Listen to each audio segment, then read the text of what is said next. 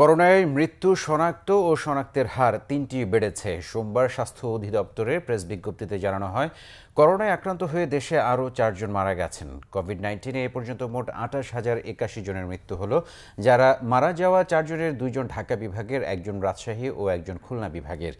উনিশ হাজার নয়শো আশিটি নমুনা পরীক্ষায় আরও ছয়শো চুয়াত্তর জনের করোনা শনাক্ত হয়েছে। এ নিয়ে এখন পর্যন্ত পনেরো লাখ সাতাশি হাজার একশো চল্লিশ জনের করোনা শনাক্ত হলো।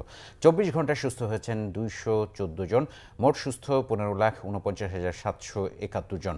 পরীক্ষা বিবেচনায় শনাক্তের হার তিন দশমিক তিন সাত, সুস্থতার হার সাতানব্বই দশমিক ছয় পাঁচ ও মৃত্যুর হার এক দশমিক সাত সাত শতাংশ।